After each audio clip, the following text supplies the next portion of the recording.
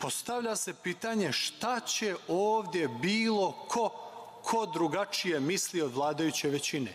Jel vidite vi kako prihvatate svaku kritiku? Jel vi vidite kako prihvatate svako različito mišljenje? A dajte ljudi, smislite način kako da istrpite šest manjinskih opozicijonih poslanika u parlamentu u narednom sazivu. Replikom ću te, replikom ćeš me. Mantra je narodnih poslanika u Skupštini Srbije od uvođenja višestranačkog parlamentarizma.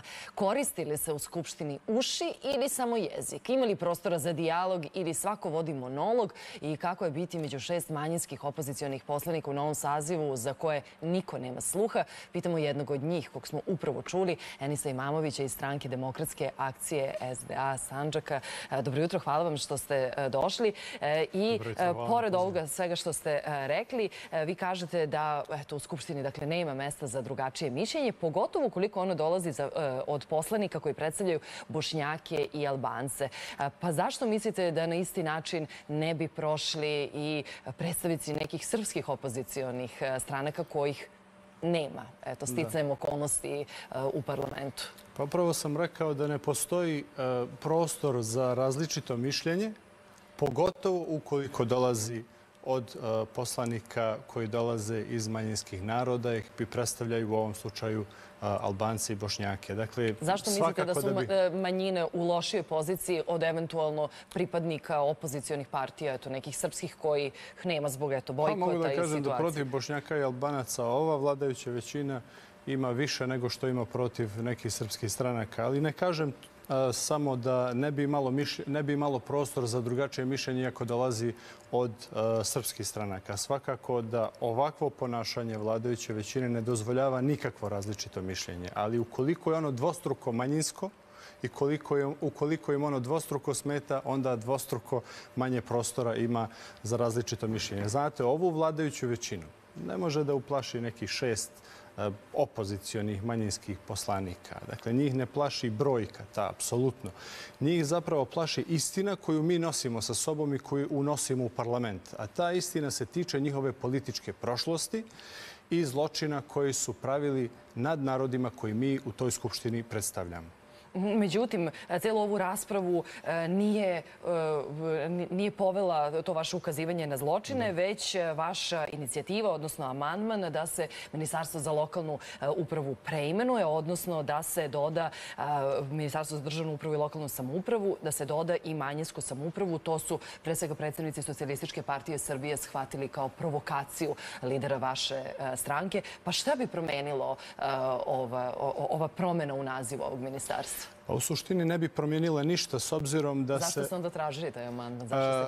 Ne bi promijenile ništa u odnosu na postojeće stanje. Dakle, trenutno Ministarstvo za državnu upravu i lokalnu samoupravu radi sve te poslove koje smo mi predvideli da radi i u budućem sazivu ove vlade koju biramo koju danas počinjemo da biramo, mislim da ćemo je sutra izabrati. Dakle, mi predlažemo da ta nadležnost ostane unutar Ministarstva za državnu upravu i lokalnu samoupravu. S obzirom da su nacionalni savjeti, nacionalnih manjina, organi manjinske samouprave, preko kojih pripadnici nacionalnih e, zajednica ostvaruju svoja prava u obrazovanju, upotrebi jezika i pisma, informisanju i tako dalje. Dakle, e, logično je bilo da ta nadležnost ostane unutar Ministarstva za državnu, lokalnu i kako smo mi predvideli manjinsku samoupravu. Dakle, u pitanju nije samo e, jedna riječ, nije u pitanju samo naziv, u pitanju je čitav niz poslova kojim se to ministarstvo kojim treba da nastavi da se bavi prema našem prijedlogu. Dakle, Zašto mislite da ovo novo formirano? Pored toga, trenutno ministarstvo vodi i poseban birački spisak. Dakle, pripadnici manjinskih naroda u Republici Srbiji biraju svoje nacionalne savete na direktnim izborima, na isti način kako se biraju i narodni poslanici i odbornici u lokalnim parlamentima i poslanici u autonomnoj pokrajini. Dakle, s obzirom da je isti način izbora, logično bi bilo da ono ministarstvo koje organizuje te izbore, u ovom slučaju Ministarstvo državne uprave i lokalne samouprave, organizuje i izbore za nacionalne savjete nacionalnih manjina. Dakle, vođenje jedinstvenog biračkog spiska i vođenje posebnog biračkog spiska, spiska po kojem te manjine ostvaruju, ostvaruju svoje biračko pravo prilikom izbora za nacionalne savjete nacionalnih manjina. Mislite da uopšte e, u u, tom, e, u toj sferi može da dođe do nekih manipulacija, ali to je vaša bojazan, pa zbog toga mislite, ukoliko, ukoliko se jedan deo nadležnosti sada prebaci e, na ovo drugo novoformirano ministarstvo, je pa to jedan od vaših problema? Dakle... Nisu u pitanju samo manipulacije. U pitanju je težnja ove vladajuće većine i ovog režima koja nije počela ovim prijedlogom e, zakona o vladi. Ona je počela daleko ranije i njena težnja jeste da te nacionalne savete nacionalnih manjina svede na nivo udruženja građana ili nevladinih organizacija, što oni nikako ne mogu biti jer se biraju na direktnim izborima i jer imaju nadležnosti te manjinske samuprave u oblastima koje sam nabrojao. Dakle, to su najviša predstavnička tijela naroda koji žive u Republici Srbiji. Znate, u Republici Srbiji ima 22 nacionalna savjeta, nacionalna vijeća. Oni se biraju na direktnim izborima i oni predstavljaju blizu trećine građana u ovoj zemlji. Dakle, pored E, te tendencije za daljim manipulacijama postoji i tendencija da se tim nacionalnim savjetima oduzmu ingerencije i da se nacionalni savjeti jednostavno svedu na nivo nekog savjetodavnog tela, čije mišljenje neće biti obavezujuće za vladu i tako dalje. Dakle, to je za nas bilo neprihvatljivo i zbog toga vladajuća većina e, usled nedostatka želje da omogući manjinskim narodima da sami odlučuju i da sami predlažu mjere koje su potrebne za njihov dalji razvoj u oblastima za koje su nadležnosti nacionalni savjeti nacionalnih manjina. Dakle, mi smo imali prilikom posljednje promjene izbora o nacionalnim savjetima nacionalnih manjina i o nacionalnim manjinama, da su ti zakoni usvojeni bez da smo imali priliku da raspravljamo, a ne da usvoje amandmane manjinskih poslanika, nego nismo stigli ni da raspravljamo. Po onom metodu kako su koristili predlažući brojne amandmane na svoje zakone kako bi trošili vrijeme za raspravu i tako da, manje, da, da, da amandmani koji su dolazili od opozicijonih poslanika, naročito ukoliko su bili manjinski, nisu nikada mogli da dođu na red.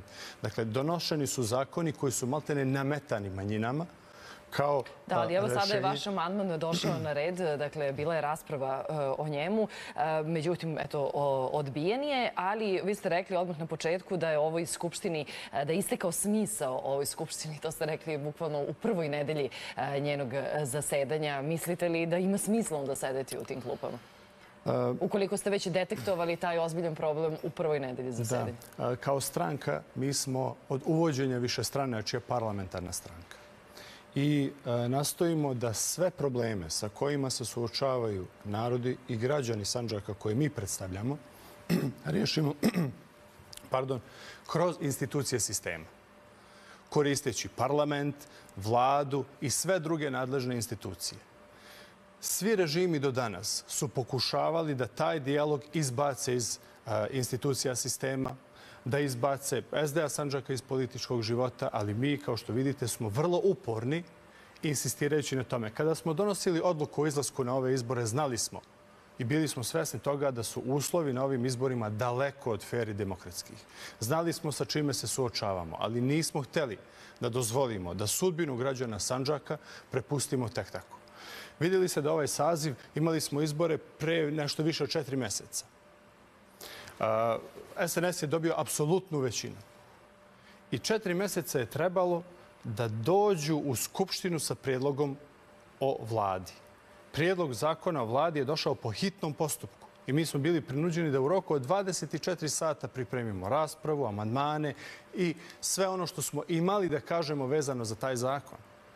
Danas biramo vladu, sve je to urađeno, spakovano u nekih 3-4 dana. A prije toga smo imali pauzu od 80 dana ne između dvije sednice, nego između dvije tačke konstitutivne sjednice parlamenta Republike Srbije. Dakle, to je, ja ne znam da li je i jedan parlament na svijetu pravio pauzu između dvije tačke od 80 dana u situaciji kada jedna stranka ima apsolutnu većinu i kada može da donese bilo kakvu odluku ne zaviseći od koalicijonih partnera, ne zaviseći, ne zaviseći od nikakvih uslovljavanja. Mi smo imali zemlje u E, pa okruženju koje su održali da, izbore. opozicije e, je i taj da neće da prihvataju na, tak, na te, neće da prihvataju te uslove, niti da pristaju e, na takve uslove. E, Vi ste ipak prihvatili i pristali.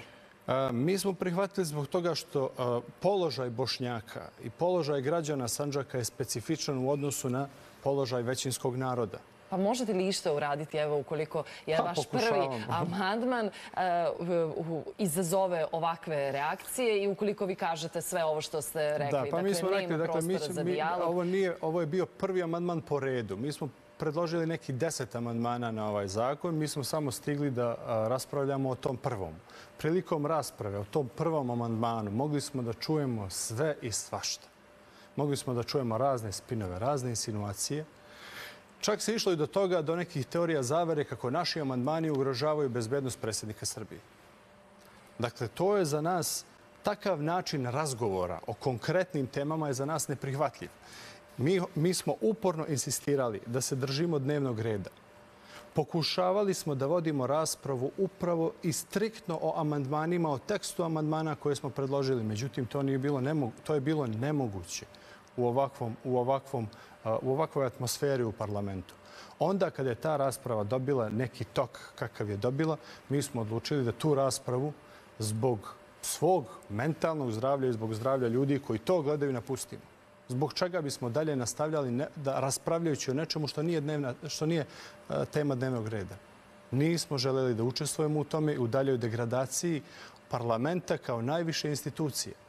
Ja sam u parlamentu, ovo mi A je da li mislite četvrti da ćete saziv. u, naredno, u narednih eto, godinu i po dana koliko je uh, oročeno uh, trajanje uh, Skupštine biti upravo to što ste bili u posljednjih eto, nedelju dana? Dakle, dežurni krivci, dežurna opozicija i da li mislite da je uopšte moguće, moguće da se uspostavi dijalog? Evo imamo danas da je predsjednik Skupštine pokazao rešenost da se uspostavi dijalog između vlasti i opozicije uz posredstvo evropskih uh, parlamentaraca.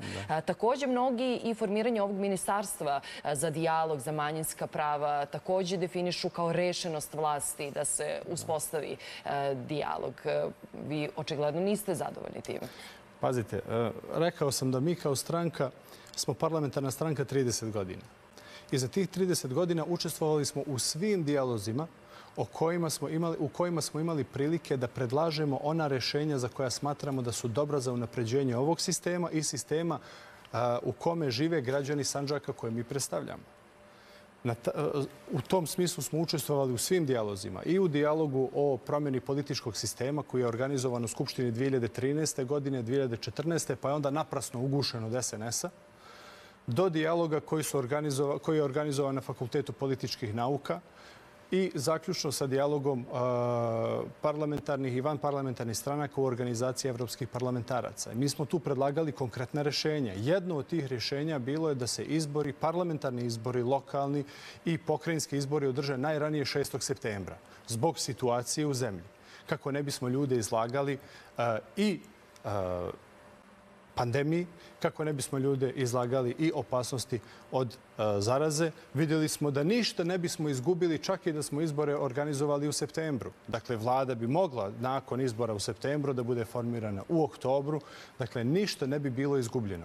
Umjesto toga, vlast je odlučila da iskoristi tu svoju kampanju koju je imala za vrijeme e, tog vanrednog stanja. Podsjetit ću vas da je za vrijeme vanrednog stanja jedino Vučiću i SNS-u bilo dozvoljeno slobodno kretanje po zemlji i sprovođenje kampanje. Svi ostali su bili zaključani. Da, i, samo I evo, onda smo mi iz tog vanrednog stanja ušli direktno u izbore i nakon toga smo 8, 123 dana čekali za nastavak sednice parlamenta. Mhm. Danas je sednica na kojoj će biti izabrana, po svemu sudići, danas ili sutra e, izabrana vlada. Sve u svemu bit će prisutna i premijerka i e, svi e, ministri. Evo, samo kratko dobijate novog restornog ministra, odnosno ministarka za lokalnu samoupravu je Marija Obradović iz redova naprednjaka. Mislite li da ćete sa njom imati bolju saradnju nego što je to bilo sa njenim prethodnikom Brankom Ružićem? Pa ja sam rekao juče, mi nismo zadovoljni saradnjom koju smo imali sa prethodnim ministarstvom. E, nemam razlog da verujem da će ova saradnja u budućem mandatu biti išta bolja pogotovo zbog činjenice kad znamo da se sve odluke u ovoj državi ne donose u ministarstvima, ne donose u vladi, nego se donose od jednog čoveka koji i danas je taj koji opredeljuje da, da li ćete danas kurs vlade i kurs ministar, svih ministarstava, pa čak i odbora, skupštinskih odbora. Da li ćete već... danas na sednici, na sednici Skupštine, evo samo za kraj, nositi masku? To je nešto što vam mnogi zameraju. Mislite li da je to odgovorno ponašanje, pogotovo ukoliko slušate ono što e, govori krizni štab? Dakle, imamo e, novi rekord, više od hiljadu novo inficiranih ljudi. E, doktor Predrag Kon kažu da su maske jedina barijera? Zašto se oglušujete o njihove pozive? Znate kako, ja ne verujem tom kriznom štabu. Ne verujem mjerama koje oni donose i koje oni predlažu. A ne morate da verujete ovom domaćem kriznom štabu. Mogu reći i nameću. Odluke koje donose krizni štabu u svim drugim zemljama. Postoje mnogi stručnjaci širom svijeta, priznati stručnjaci koji kažu da maske ne štite od koronavirusa. I ukoliko kupite jednu masku, vidjet ćete da na poleđini, gde su njene specifikacije, kaže da ne štite od koronavirusa. Evo, pa ja čak nisam ni sad jedini... Smanjuje mogućnost pa zaraze. Evo, vidite, Ništa nas ne može kompletno zaštititi. Nisam, nisam ni jedini u ovom studiju bez maske. Imamo uh, udaljenost od 2,5 metra. Pa naravno, ja držim, ja držim distancu. Da, ali ja držim distancu sa svima. U poslaničkim klupama uh, nemate ovoliku razliku. Držimo distancu.